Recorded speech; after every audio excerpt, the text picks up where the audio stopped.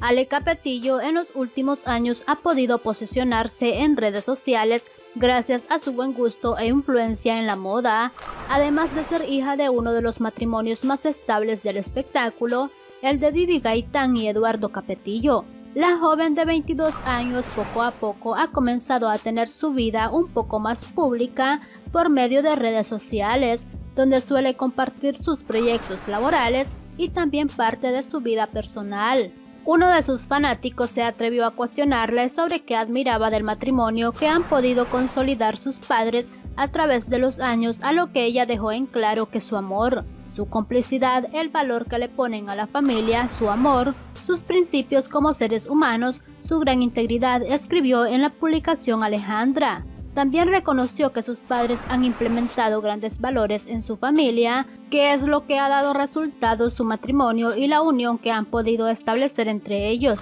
Otro de sus seguidores le cuestionó si cómo le hacía para poder ser feliz siempre, a lo que ella respondió que no todo lo que se ve en redes sociales es verdad, debido a que ella últimamente ha llegado a tener pruebas complicadas, pero en la plataforma solo muestra una parte de su vida. Como es de costumbre, la joven realizó una dinámica semanal con sus fanáticos, pero hubo una argolla que tomó la atención de sus seguidores, hasta algunos llegaron a pensar que podría ser de matrimonio. A pesar de que uno de ellos le preguntó por el anillo, Alejandra solamente realizó un rostro para dejar en duda a todos, aunque seguramente se trataba de algún accesorio que le gustaba.